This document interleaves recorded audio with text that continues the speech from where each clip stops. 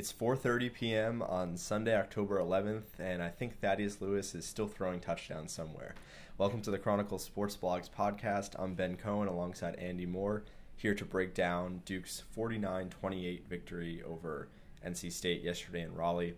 Before we get into anything that happened in the game, Andy, it's probably worth mentioning all of the streaks that this game broke.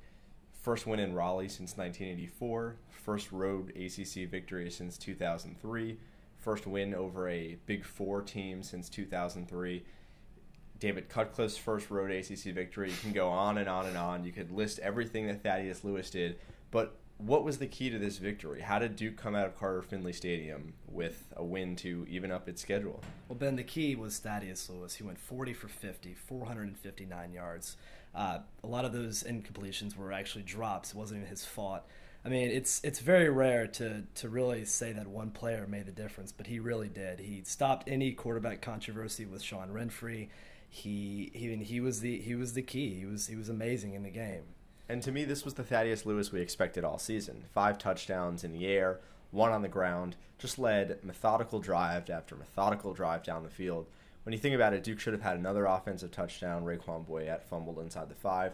I mean, this was David Cutcliffe said it best. This was the the best game from a quarterback that he's ever had, and that's coming from a guy who coached Eli Manning, who coached Peyton Manning, who coached Tee Martin, who coached Heath Shuler, who coached Todd Helton, Todd Helton who coached Erik Ainge. The list goes on and on and on, and you know that's the highest praise you know that you could imagine, uh, and and I think it's no wonder that this is a game that he's going to cherish and put up on his wall forever, or at least until you know it gets knocked off by more and more wins. But for me, you know, as good as Thad Lewis was, Duke doesn't win this game without a defensive resurgence in the second half. This this was a game that it was a shootout for the first half. The teams traded touchdowns, and you know suddenly and really unexpectedly, Duke's defense turned it up a notch and didn't let up a score for the last 38 minutes of the game.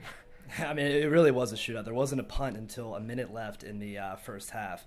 I mean, and after that though, uh, the the defense was just unstoppable. The the last offensive touchdown came with eight minutes left in the first half, and really nobody could have expected that with uh, with Russell Wilson. I mean, how good he's been this year, and and you know, how good he looked for the first part of the game. So, what does this do for for the rest of Duke's season? We have Duke has a bye week this week, so they have an idle week to heal. Going into an idle week with a win, a road ACC win over a in-state opponent is just, you know, this is as moment. Th- this gives them more momentum than they could have ever dreamed. They probably should be four and two because I mean, if, if they could if they could play that Richmond game now, I would think that mo- I, I mean they should win that game.